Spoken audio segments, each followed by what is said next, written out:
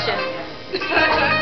How you doing? This is Miss Mimi Johnson, the arts reporter, your arts reporter. We are here at the fabulous Prayze Factors People's Choice Awards in Atlanta, Georgia, at Center Stage. We've got, oh my goodness, okay, Miss Yasmine, right? Yeah. I heard that you used to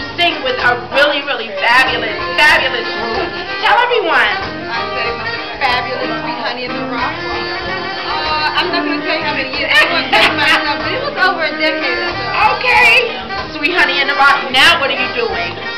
Now I'm singing solo. I'm singing gospel. I've always sung gospel Yeah. since I was three years old. Yes. And I'm still singing gospel, recording my own.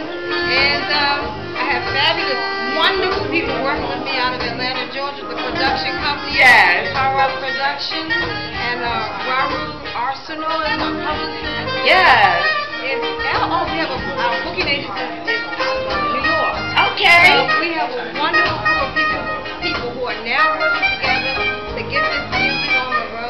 Yes.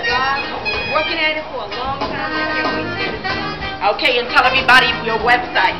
The website is Jasmine. What's my website? Uh-oh. Our website is JasmineSummerMusic.com. There you go. YasmineSummerMusic.com. All one word. All one word. YasmineSummerMusic.com. Well, you heard it here at the Arts Reporter. This is your Arts Reporter, Johnson.